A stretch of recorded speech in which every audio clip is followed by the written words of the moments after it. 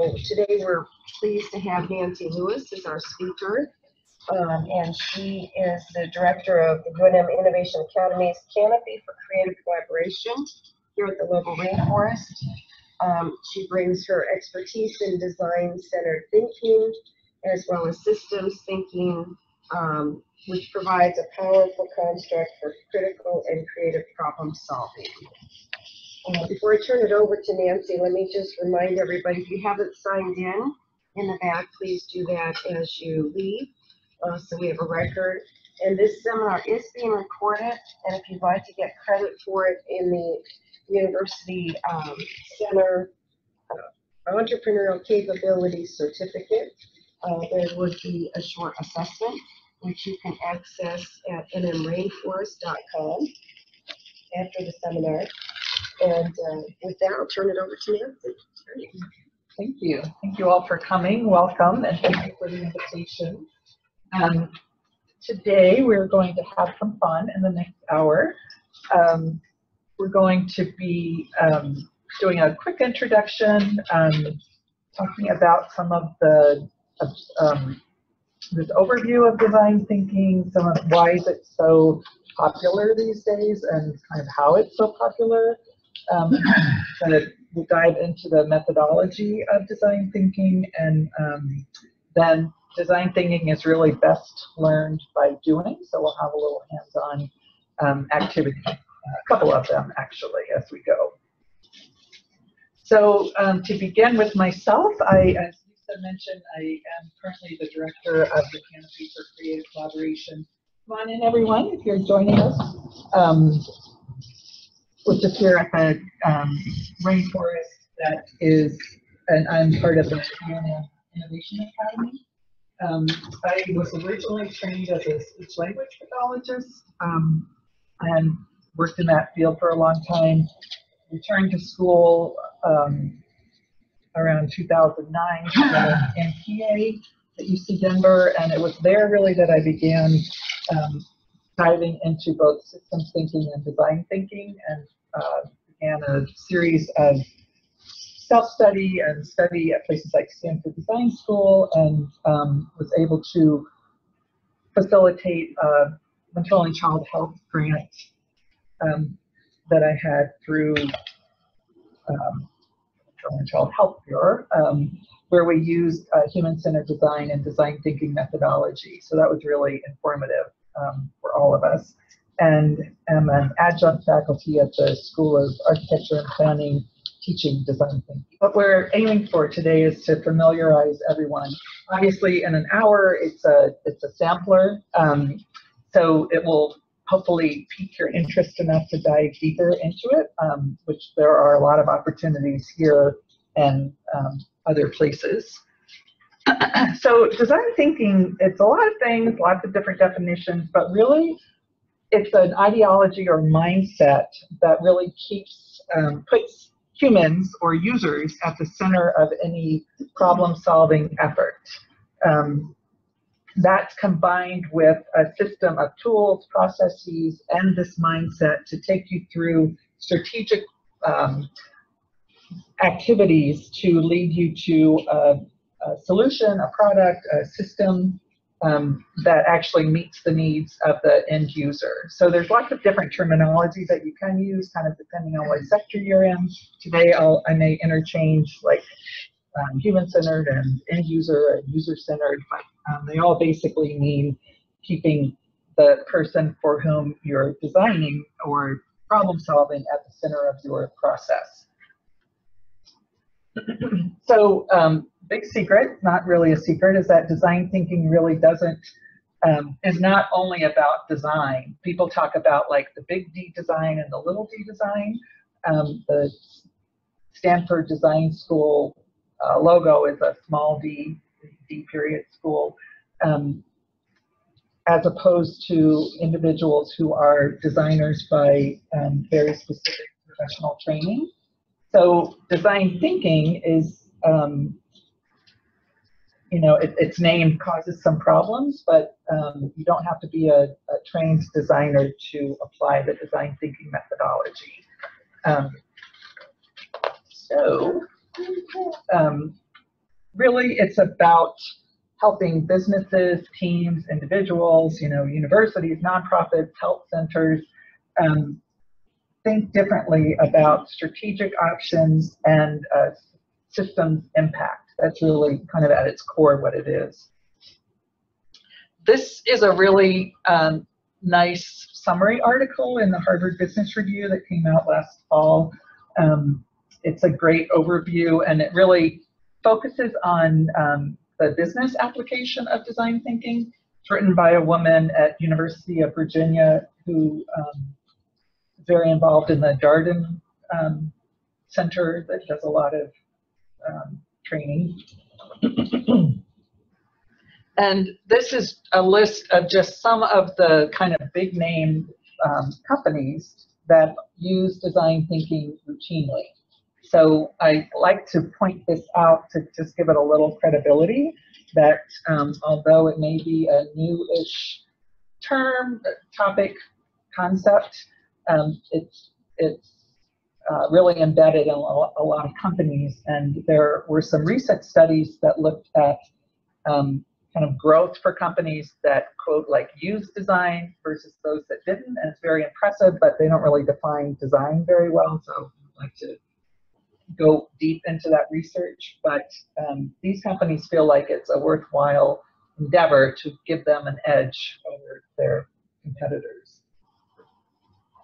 So um, Tim Brown is a fellow that started a company called IDEO um, based in Palo Alto about 30 years ago. Um, IDEO really popularized this design thinking term and uh, methodology. They used it originally for product design, and they actually get credited with, um, or he gets credited with inventing the first mouse for Apple computers. In IBM a long time ago, I, the cursor was like a little annoying dot in the middle of a keyboard, and um, Tim Brown thought about this uh, other piece. And I don't know why he called it a mouse. Somebody in here might know, but um, he's uh, stepping down as CEO in August of this year, but really has taken the IDEO and um, design thinking, really spread it. Um, he has worked with a fellow, with people from Stanford Design School, um, and they um, the Stanford Design School uh, also popularizes the terminology and does quite a bit of training. so if you've seen anything about design thinking or human-centered design, the two terms are used somewhat interchangeably. Um, I won't say they're exact synonyms, but they're definitely used interchangeably. You may have seen this schematic, which has these five components of design thinking with various activities that go along with each one. Um, we're going to go into these in a little bit more detail, but before we do, I wanted to um, show you some other schematics that um, use some different vocabulary that helps that might help understand some of what these components are. But this is a um, another just note to the popularity of design thinking that a four-day boot camp um, from insights to innovation at the executive education branch of Stanford Business School um, is a mere $12,600, not including room board. Um, so um, it's kind of big business in a lot of places, and we're happy here at UNM with the STC, the Innovation Academy, the Rainforest, our work with Sandia and AFRL and other partners in the community to be bringing this useful methodology to New Mexicans. So um, one, I like all of these different schematics for different reasons. I'm not going to go into each one in great detail, but you can see that um, you start by framing a question. You, do some what Stanford calls empathy field work, which is really finding out what your um, customer, beneficiary, end user really needs instead of what you think they need. Um, just have a period of generating ideas, make ideas tangible through this low resolution prototyping. Um, then you test to learn things about your proposed solutions and finally, um, you know, you're ready to launch something. Here's another schematic which really illustrates that this isn't a straight line, even though the schematics are linear. It's a dynamic process, as you might guess. Um, and they also insert this idea of the point of view. So through all of this, what they call empathy field work, you construct these points of view of your end user and kind of design off of that. And see, this one is a schematic that a company in um, Chicago uses. Um, they're called Greater Good Studio. Um, they're for-profit and business to um, really apply this methodology for um, for the nonprofit sector and for a kind of the social impact sector. The, um, it was started by a husband and wife, and the husband was at IDEO for a long time, and he has a little description of this conflict where he was um, perhaps designing a Kool-Aid package in the morning and um, solutions for childhood diabetes in the afternoon. And that, that uh, tension got him to leave IDEO and start this company that really brings this methodology specifically to um, social issues. And um, IDEO.com, uh, you know, IDEO, the, the product design company, started about 30 years ago. Um, I think about seven years ago, started a, brand, a nonprofit branch called IDEO.org, and they're doing the same thing where they're bringing this way of approaching really complex issues, um, this methodology to really complex issues, primarily in other countries, um, but they, they, they're doing a lot of good as well. And finally, this is pretty hard to read, but I like that this is kind of circular and also shows this back and forth nature. I mean, most of you know that any process that's allegedly linear really isn't because it's always good to um, get feedback and iterate when you need to. So um, there's you know different definitions, different ways of um, talking about this process, but there are some similarities as well. Basically, it, it relies on a creative and collaborative um, problem-solving process. So it's not about getting you and the people you work with all the time and only those people in a room together to solve a problem, but really kind of branching out and bringing diverse thinkers into the mix. Um, the tools and processes rely on this diverse collaboration while addressing these really complex issues that are really impossible to um, address in an individual way um, I mean, think in the social sector, think of the big um, intractable challenges, poverty, um, homelessness, education system, healthcare. Um, so design thinking really isn't a new thing. It's really kind of garnered these um, tools and processes from many different areas and combined them in perhaps a new systematic way and by incorporating this um, this component of low resolution or soft resolu soft prototyping, where you do mock-ups of your ideas in a quick kind of way and get feedback, you can kind of make tangible your ideas, get feedback on it, and actually iterate before you go to the bank with it, so that you're not um, solving some, you're not, um, what do they say, um, technology looking for a problem. um, so, yeah. um, let's see. It, it keeps this human-centered design framework so that you, you develop a mindset in terms of approaching problems so that even if you're not on a team saying, okay, we need to address X, that it, um, the think, the belief is that the more as an organization or system or team, the more everyone kind of adopts this way of thinking, the more it influences your thinking process before you even get to the table. There's a um, company, the Tides Foundation, which I think is in Palo Alto area as well, and they um, went through I think four CEOs in four years, and then had a new person come in who's but um, she wrote an article that was published in the um, review of innovation, I think, and where she came in and, um, you know, it was a foundation, so they were depending on investments to have more money to um, give, and things weren't going so well after four CEOs in four years, and she decided to do this top-down, bottom-up design thinking um, right out of the gate. So the board and her top leadership team got some intensive training, all the current staff and every new hire was introduced to this way of thinking and they got great results, you know, as a result of it. I'm sure it wasn't just that, but she really is a proponent of kind of this mind sync in terms of this methodology. So all this talk about um, design thinking, um, what is it really? Here's a little like four minute video that's a pretty good example.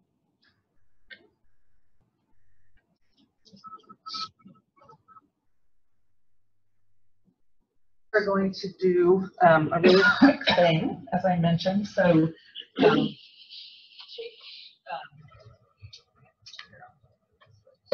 take, a couple of um, and um,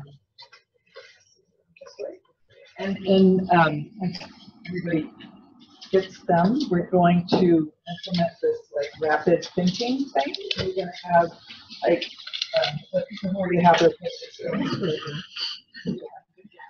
We're going to take um, like 45 seconds to draw a vase, a flower vase. So for, imagine you're a florist and you want vases that really um, are nice for your beautiful flower arrangement. So don't start yet.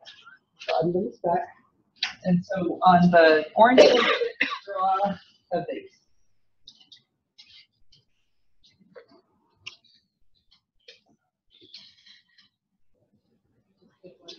Uh, or-.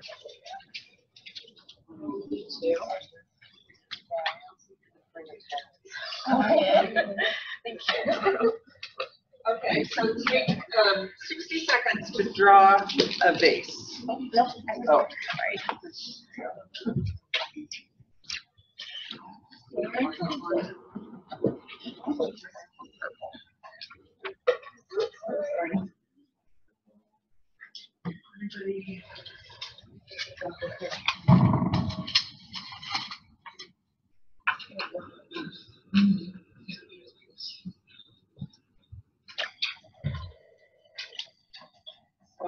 Orange post-it, That's draw a vase, whoops, quickly.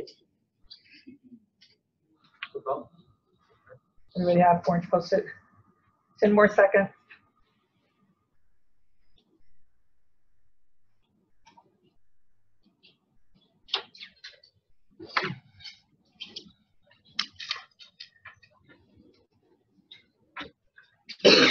So hopefully everybody's done with your vase. Um, now, everybody have a purple post-it? Like a purple post-it? Yeah, so put that one aside. And this time, you're going to design a way for people to enjoy flowers in their home and dry. All right, so might be vase, might be something else. But The, the problem frame is this, draw something to allow people to enjoy flowers in their home. 60 seconds. People are giving me really darting looks.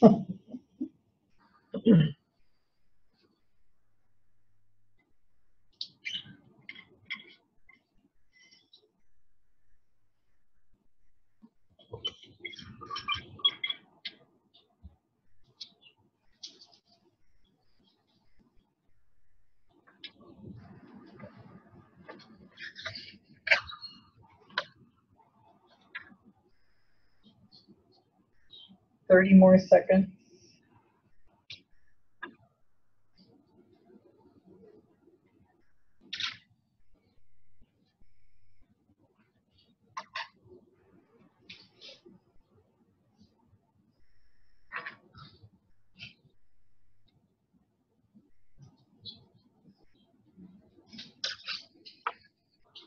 Take about ten more seconds and wrap it up.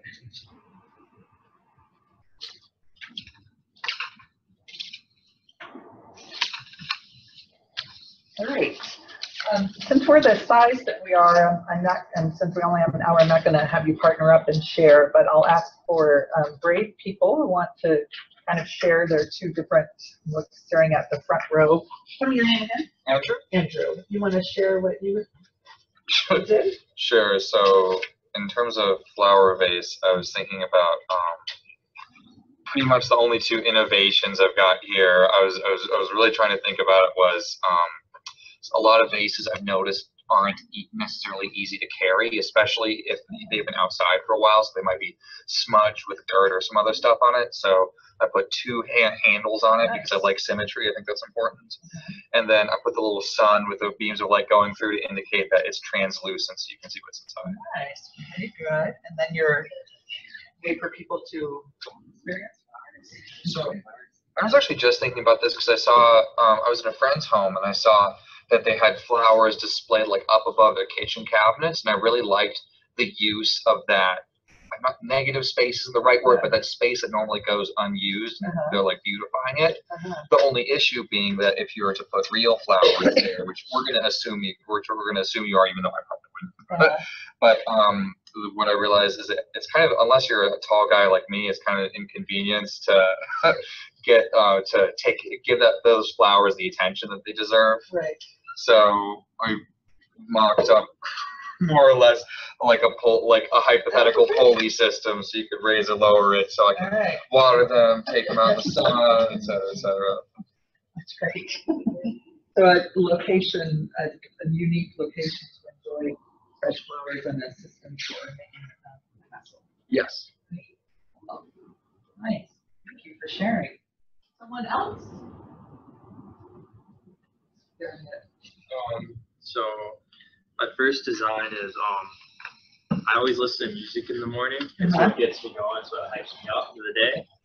And um, I thought, why not make it more feng shui and put a stereo in my vase, so that so that way I can enjoy flowers while I'm listening to music, and it could be a cool, easy implementation. And my next thing is, since I love music so much, um, to, you know how in Times Square for New Year's Eve, all the confetti falls everywhere? I thought if I had attached like a latch to my ceiling and I pulled it, rose petals would fall down. Wow, oh, and, and innovative the first ones are as well. One more? I also had the idea of putting a handle on the base apparently so that she so so like putting a handle on the base you can easily carry it if heated too. So I guess that's like a common thing that everybody gets like Yes. handles on bases.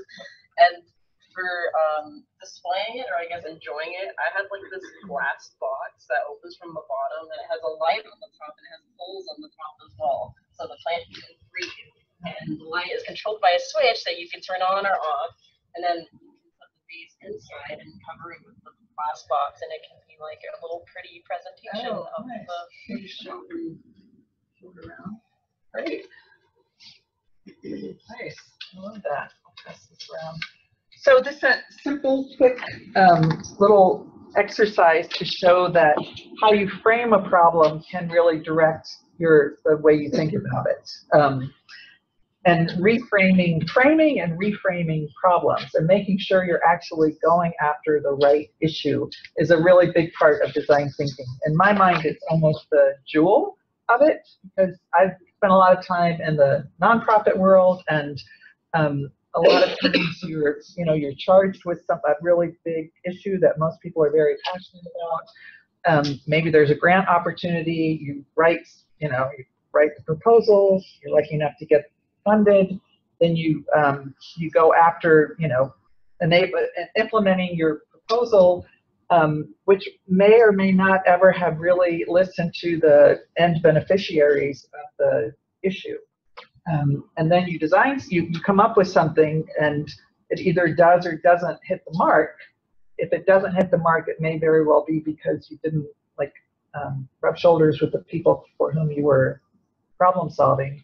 And I usually say, you know, you end up with a storage room full of beautifully designed products that don't hit the mark um, because perhaps the reading level is too high or they're too too much information for the maybe they're designed for docs, but it's too much information for the time span that they have to use the product or whatever.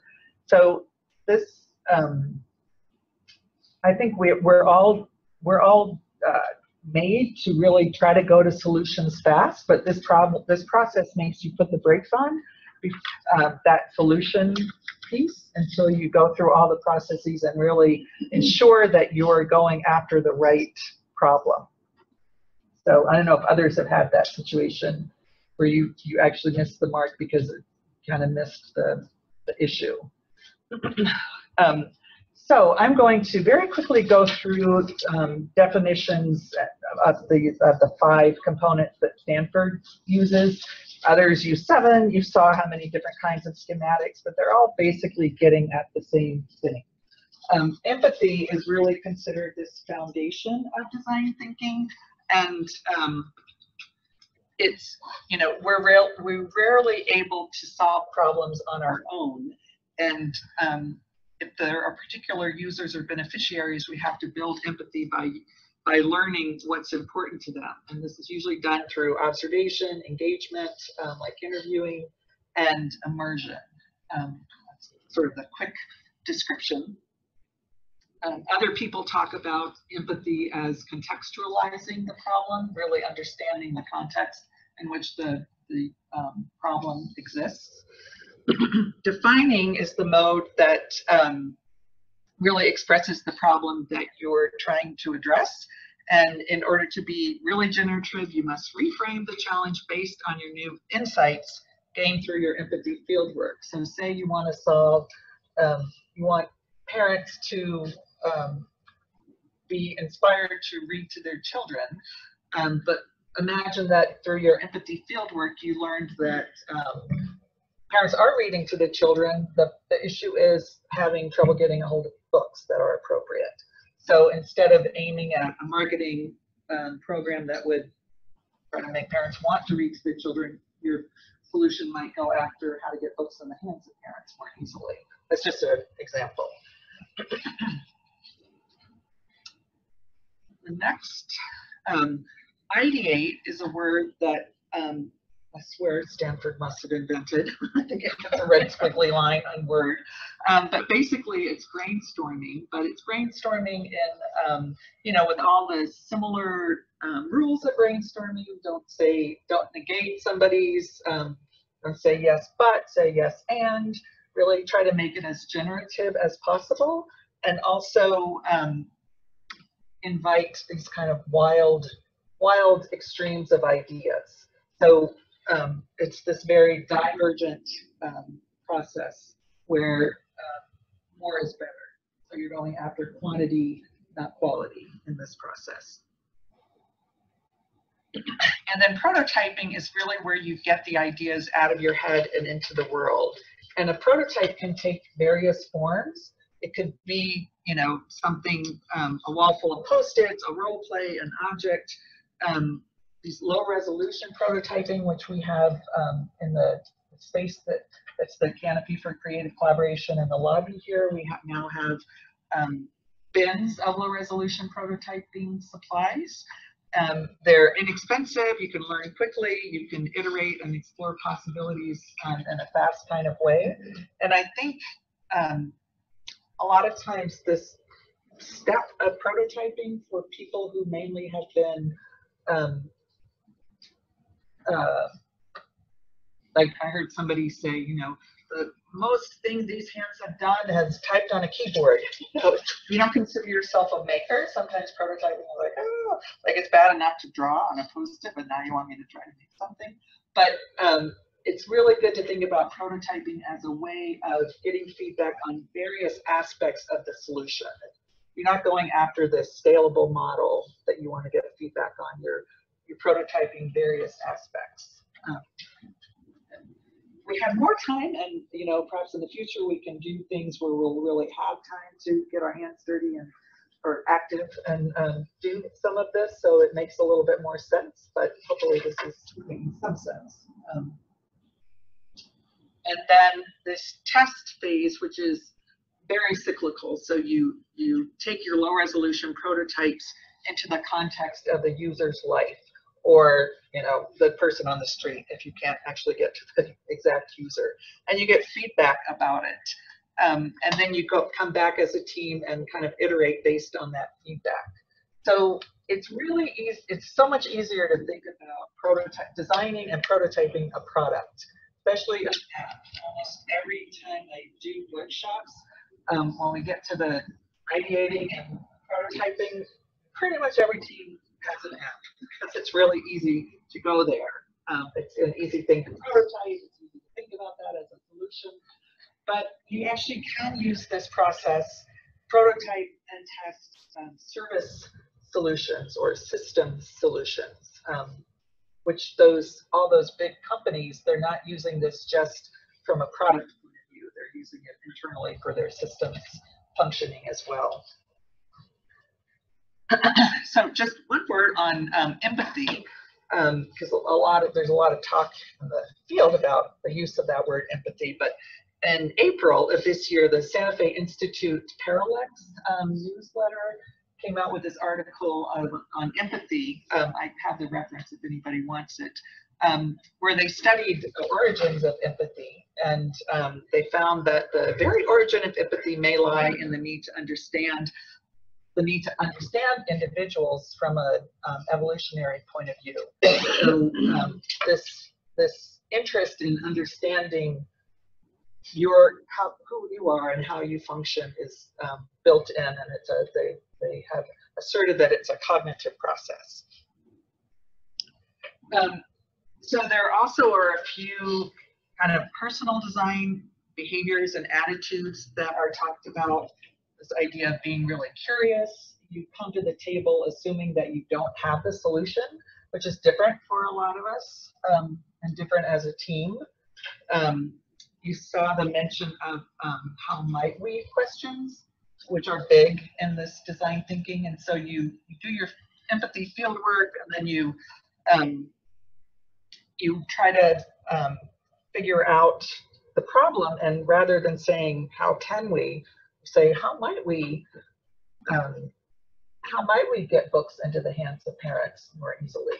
Um, instead of here's the solution let's go it's just a, it's a semantic thing that i think i i, I think is a refreshing how might we because it really implies that nobody in the room has the absolute solution at that moment and they all have to stay open to learning which i have to find refreshing this idea of navigating ambiguity. Um, sometimes I'll ask groups like, who, who likes ambiguity? And usually maybe one person will raise their hand. I feel like I, I, I am very familiar with ambiguity in life, but um, I wouldn't say that I like love it and, and invite it in. But I've also heard it said that the a, a skill, a work skill for this upcoming generation is this I, this ability to navigate ambiguity because um, you know everything changes and there's um, being able to see clearly when the path isn't clear is a really good trait. Um, oh, uh, show unfinished work, which is what you had an example of with this quick little post-it drawing exercise. Um, not so easy when you're in a room of your peers or you know peers and um, superiors perhaps and then making ideas visible. So um, drawing is pretty darn uncomfortable for me. I'd much rather write something um, but it's really it is really good. It's a really good exercise to um, make visible your idea in a way other than writing opens it up in ways that I wouldn't have believed myself. And I resisted because I'm really, really bad at drawing. Um, so this, I'm sorry that this is so small, but um, this, this kind of a summary statement. So the, the structure of design thinking creates this natural flow from research, which really is a research methodology, to roll out. the you you know, immersion in the customer experience produces data, which transforms into insights of the, what I'm calling the design team, which helps teams agree on design criteria they use to brainstorm solutions. So back to the little video, um, they might have had assumptions about kids wanting to listen to music or what's going to motivate them to exercise. But what they found really was it was this social sharing their peers that was key. Um, so that's kind of um, agreeing on design criteria that you learn from your um, empathy fieldwork. And then assumptions about what's critical to the success of those solutions are really examined. So you kind of get your assumptions out of the way. And tested with rough prototypes to help teams further develop innovations and prepare them for real world experiments. So in a nutshell, that's kind of what all these five processes do. Um, I've been talking really fast because we only have an hour, but any question, I'll, I'll, I'll pause for a minute. We're not yet done. So just keep going and we'll hold questions. Okay. um, so here's a little, um, this is actually a, a commercial from the Super Bowl, which one of the um, mottos in design thinking is fail forward. So learn, you know, like don't consider a fail, a loss, a failure, a bad thing because you, you know, this rapid iteration, low resolution and rapid iterations means that you can have a lot of quote failures so that you can actually design um, for success. Um, so here's a really cute commercial about um, failing forward.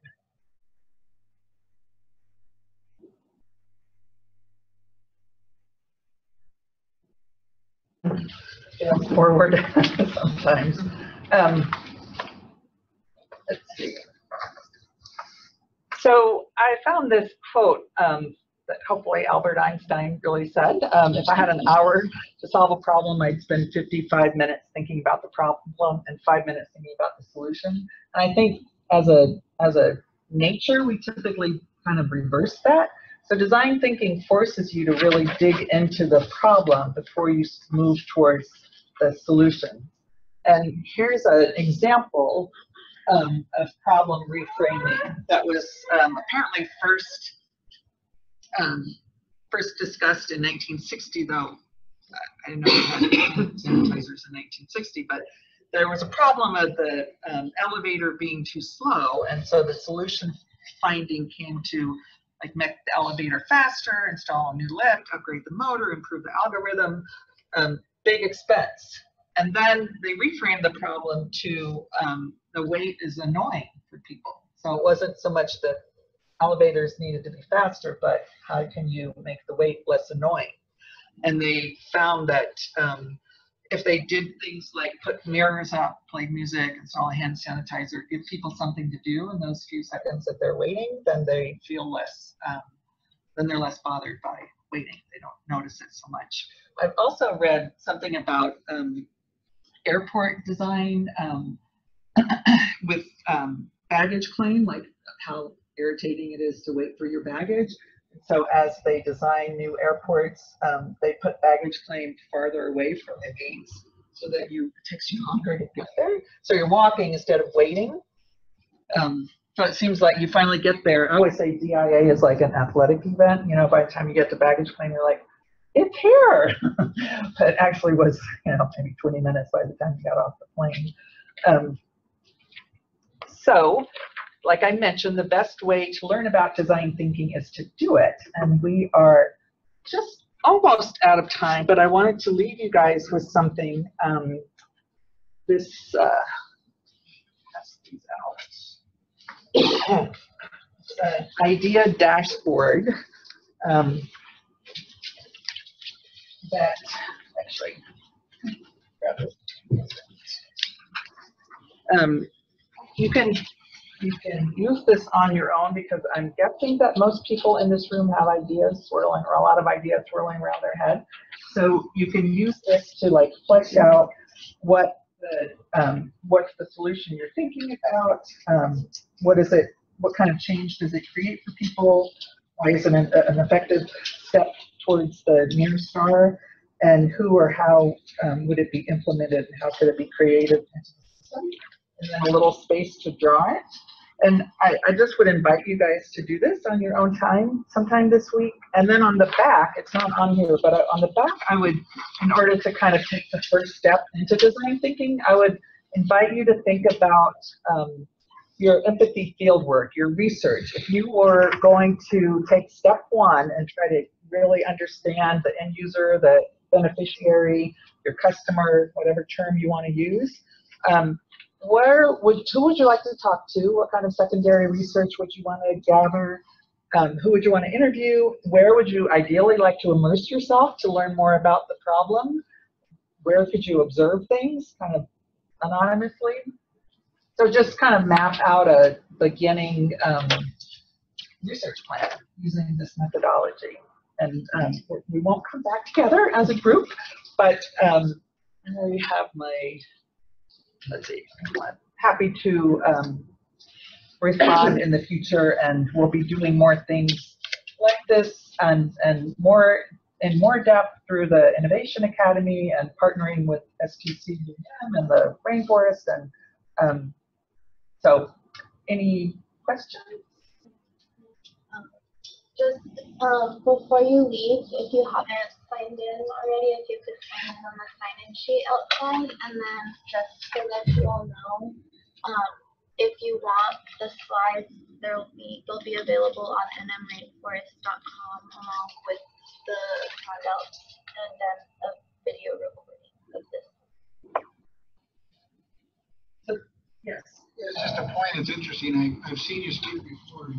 It's interesting, since then, I've done more study about other types of methodologies and never really realized that by things like the uh, lean startup methodology, uh, Simon Sinek's way, you know, we really built a lot of, that was always in here, but I never put all that together, so very interesting that there's parallels. Yes, there are total parallels. That's a really good point. Yes. STC, is that what you're, what is that? What's that? Some of us are. Oh yeah, we're um, an organization wholly owned by the university commercializing the research at UNM. And it stands for Science and Technology Corporation. But we shortened it, so we don't use that full name anymore. Because I'm sitting here thinking, What is that? Is this similar to um, the way we use for like improvement science? This So- like improvement quality improvement? Or, Well, yeah, I mean, like in education, when we're trying to tackle an issue, we use improvement science. It's kind of similar, but um, I feel like because I would like to use this way of pro- solving problems in school or Right. with staff. yes, there- which there are um, lots of people doing that, and I could send you some references for that. Um, that is what we, I did quality for a time in healthcare for, Uh-huh. um, and yeah, that, it's similar but different. In other words, I mean, you, you try to problem solve what it is. We spend a lot of time on the problem and then like and like really picking apart the problem as a team and but it's it's very similar Yeah. Um, I'm not a quality improvement specialist, but I have some experience with it. And I think part of the difference is um, I've seen it done where you where that diving into the problem isn't so much a part of it. You sort of start with the problem and go from there. Um, but also this idea of this like rapid iteration. So like let's see if our solution let's let's do a low run version of a solution and get some immediate feedback. And um, I mean I know the plan do Energy study action. yeah. Right, and there's That involves it, yeah. So it's not um, it's not uh, divorced from that by any means, but it is it's it provides a few different things, but definitely used in tandem in a lot of places. But you can't go too far out, like in healthcare or education, because of the nature of the beast, you have a sort of schematic. But I like this method of use because I feel like in the science, there's not a whole lot of like testing. Right. So you stay like stuck in the problem for so long Right. that you're not really testing solutions Yes. and then coming back. Right. That's kind of how I've seen it. Like if you hit the mark to begin with, maybe you'll get some quality improvement. But if you don't actually hit the mark, but you're off to the races. Um, right. And it's a learning process. I mean, this it, it sounds it might sound easy, but it's really not that easy because um, it's, it's, because we're humans. You know, it's just challenging. One Last question? Um, I found like trying to go through this process within the whole process of like actually implementing it. Um, there's almost sort of like a defined stage before the empathize to try to, or I guess what would you call that? Like when you're trying to um, identify, I guess, the problem or whatever it is. And then I know you like empathize. I was kind of struggling with that initial part. It's like, well, which one comes first? Is it define, empathize, define, or? Yeah, it's kind of define or sort of state, empathize, re, redefine. Um, I can use, give you an example of healthcare. I might think that you have this problem, but you may not think you have that problem. And that's, I guess, where I think the em- emphasize is, is figuring out yeah, how does the other person define the problem? right, yeah, may not, they're not gonna change if they don't see it. right. Because maybe it's not the problem that I think it is. Yes, right. We have a project you worked on where you said it all came together. Can you describe that just? Yeah, so um, the maternal and child health project, and we are over time by five minutes. Is that right? If people need to leave, feel Yeah. free to do so. Um, so the, the grant, um, charged us with a very, um, broad, vague charge, which was to improve the developmental monitoring of, um, a child's, of a child's development on the part of parents. So improve the parents' um, you know, ability, willingness to de- developmentally monitor their child's development. Lots of big issues there, you know, like, um, and assumptions that parents aren't doing that already. So what we did, and I, we, I worked with um, TJ Cook, and we really dug into, um, we kind of tore that problem statement apart and realized that um, engaging parents was really key to whatever we were going to come up with. So we took some time as a team to look at what engaged us, what was engaging for us. So we, you know, that was put some time, and then what are kind of qualities of engagement? What makes you want to engage in something? What makes you not want to engage? And then we, um, I'm doing a short version of this. We did our, our empathy field work through observations and interviews, mainly with parents of young kids um, who happen to have had developmental delays or hearing loss or something like that. And what we discovered through that was that all of them, all, and not, we didn't interview 100 people, we interviewed, I think, maybe 12, um, so small scale, but um, 100% of them found the resource that they needed, not through their pediatrician, not through the internet, not through these, not through any kind of promotional CDC information. They found it through um, what I'm calling a social network, but not not Facebook.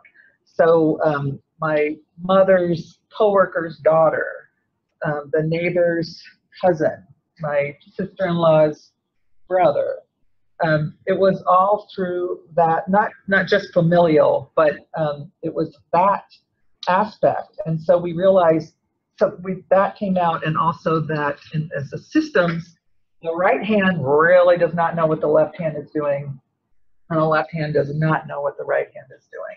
So there, it wasn't, if we had just gone about how can we help parent, engage parents in monitoring their child's development, we probably would have gone down a product line um, or a service line, but we found that there weren't, the business problem was not a lack of service, was that like, you know, nobody was, knew who to talk to, and that these formalized mechanisms were really not the main way that people got the resources that they needed. So then we went on from there to, um, I won't, those were our insights, and we, we got an extension on the grant and kind of went on from there that I could go into with you after we break up. But um, I know that we would have come up with a product if we had just said, how can we get parents to, you know, let's give them a little, let, let's do an app, let's do something. And really, um, that wasn't, that wasn't really the big issue. So, Well, thank you guys so much for your attention. I really appreciate it.